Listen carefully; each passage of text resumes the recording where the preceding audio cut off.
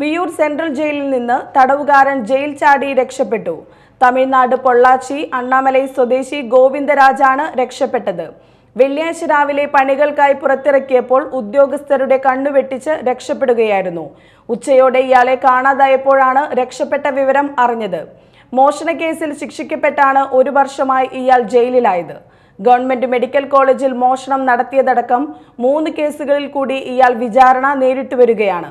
Police രേഖകളിൽ കേരളത്തിൽ മോഷണം തൊഴിലാളിയാക്കിയ പ്രതിയിൽ ഒരാളാണ് ഇയാൾ. വിയൂർ പോലീസിന്റെയും ജയിൽ അധികൃതരുടെയും നേതൃത്വത്തിൽ ഇയാൾക്കായി തിരച്ചിൽ ഊർജിതമാക്കിയിട്ടുണ്ട്.